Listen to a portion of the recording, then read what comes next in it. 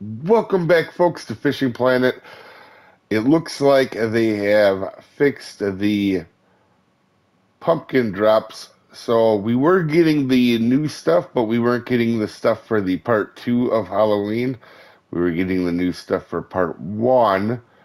And it looks like that is now fixed. Uh, yesterday morning, because I go do this very early in the morning, uh, this was not fixed, so I do these at like 4:30, 5 in the morning, um, and these were not fixed. But I've already gotten a ton of the uh, part two stuff today now between the baits and there's uh, the I got a vampire mouse lure and a jerk bait from one of them, having gone through them already.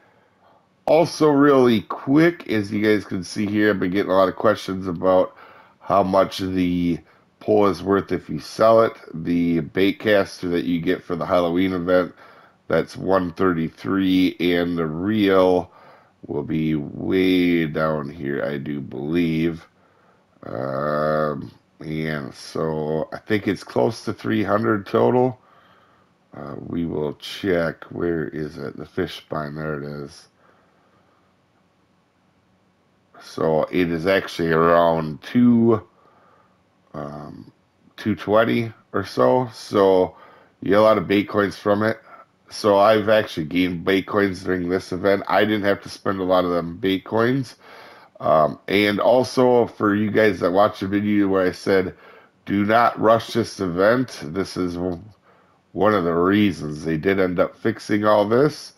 And as you can see, uh, we've had some issues during this Halloween event, uh, but if you're a person that didn't rush this and you just did what you could do for your level or whatever it may be, you now are able to get the stuff. It is a little late in the game, and Fishing Planet did have some issues with this event that we'd like not to see. Um, but hopefully, this was a learning step for them, guys. But if anyway, you guys have a wonderful day and I'll see you next time, folks.